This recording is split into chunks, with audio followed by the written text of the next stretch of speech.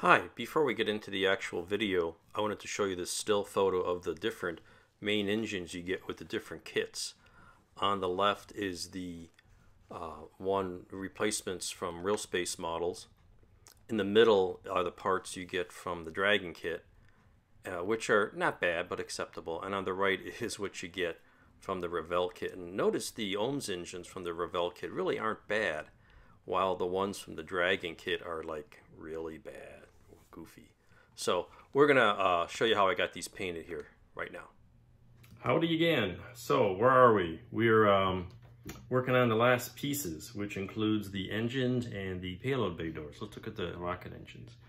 Uh, I think I showed you some initial painting last time. Well, I've gone through and um, put some dry brushing and uh, a little bit of uh, some other colors and even some uh, pastel powders, uh, some dark black, and then a little rust type color, because I noticed on the pictures, it's really not very metallic. It's, it's mostly flat black with um, a fair amount of uh, little shine here and there, a little, little hinge of brown, tan rust. Um, you know, this, these are the real space resin replacement parts. Some of the little conduit lines are broken off on some of these. Um, I'm just gonna hide those on the bottom because I don't feel like, you know, I could go in here and put some wire on and replace like these broken pieces here. And here's a whole little piece broken up, but if I stick that on the bottom, it's not gonna be noticeable. The inside I just painted with um, gunship gray. And um, so these look really nice. The ones that come, these will be saved for the Revell kits, but I painted them all at once. This is what you get with the Revell kit, you know? Look at this thing compared to uh, the uh, the ones from Real Space. Much, much better. So that'll do that.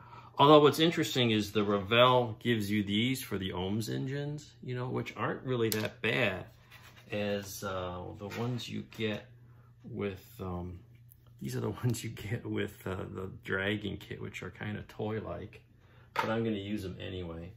And uh, somewhere here, I've got the ones for the um, the, the replacements from, uh, here they are, Real Space, and, and they're, uh, they're really nice. They're really nice, and they're close to what the Revell gives you, but it's uh, gonna work out just fine. So that's coming along with the engines. These are the engines with the same treatment from the uh, um, Dragon kit. Not as detailed as the Real Space, but adequate. So that'll be fine. So those are ready to go now, I think. Uh, then I'm working on the payload bay doors. Uh, here are the radiators. I just put a coat of uh, Mission Models Chrome. This is very thin, light pigment paint. It's gonna need another coat. I'm probably gonna have to buff this down a little bit. It's got some dust on it. And then I'll get another coat. Apparently, Mission Metallics, lots of light coats are required. Which is why I tend to like um, the stuff from uh, Vallejo. Their metallics, so this is a gunship, but their metallics tend to uh, cover in a single coat. This is a mix of some um, Vallejo steel, which is not that much different from Vallejo uh, aluminum. So I put a few drops of gunmetal in it and uh, it's a darker shade and that'll go underneath the underneath the radiators and I masked the edges and it's probably ready to take off because um, this stuff dries pretty quick. So let's go give that a shot. We'll take off um, the backing here. Hopefully that didn't mess up the paint too much. And uh, I want to, well, I don't think I'm going to have to take the time here in this, this particular episode, but we can take some of this off. Just want to see how this, this top came off. Because um, I had a fuss with it. And I even put some uh,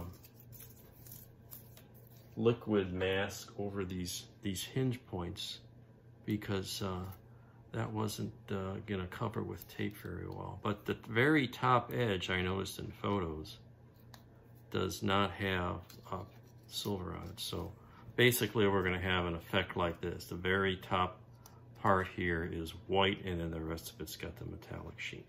So, so this is coming along nicely. The It's just flat white, just Testors, I'm sorry, Tamiya Rattle Can Primer, single shade. I'm not going to mess around with that on this particular kit. So um, that's coming along pretty well. I got to hit another coat on the radiator inside and um, we'll be close to wrapping, wrapping up the Dragon kit here real soon. Uh, so thanks for watching and stay tuned for more shortly.